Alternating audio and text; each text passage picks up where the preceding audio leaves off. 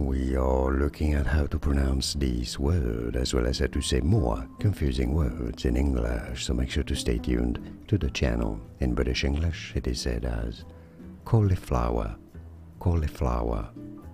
In American English, cauliflower, cauliflower, cauliflower, or cauliflower.